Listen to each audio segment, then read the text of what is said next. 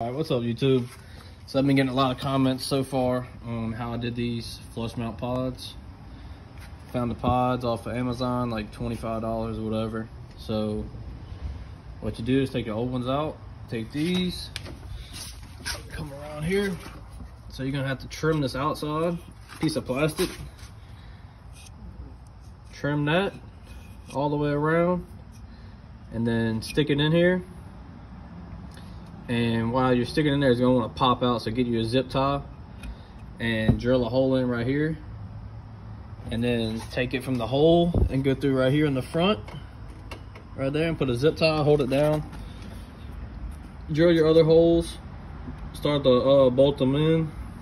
Don't bolt them in too tight though because it's going to want to make this squeeze together and you ain't better uh, mount it up all the way. But I mean this one's in there solid I mean, that's how she's doing. This side though, I messed up on.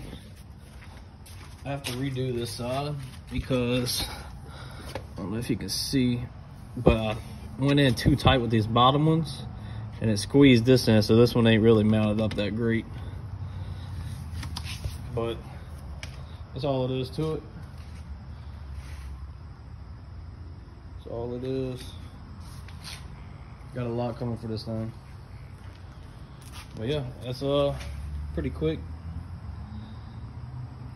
Give it one more look. That's it.